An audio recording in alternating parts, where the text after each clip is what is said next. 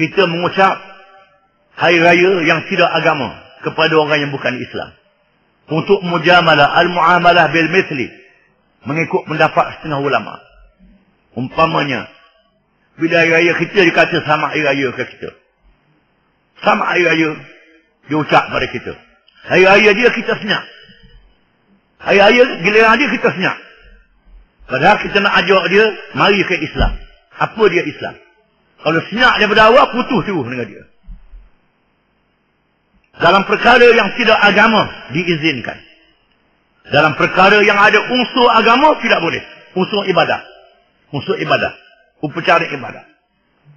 Begitulah seorang anak. Dengan dua ibu bapa yang bukan Islam. Bila ibu bapa dia kafir, mati. Dia pergi ziarah. Tak jadi salah. Kerana Nabi SAW ketika duduk bersama dengan sahabatnya. Lalu jenazah Yahudi.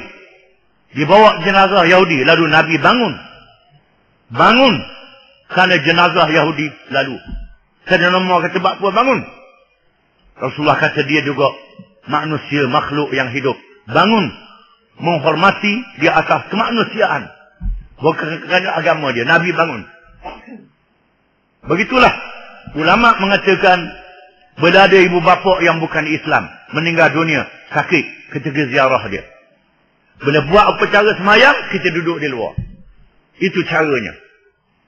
Itu diizinkan oleh syarak. Ada batas-batasnya. Bukan perkara buat ikut suka.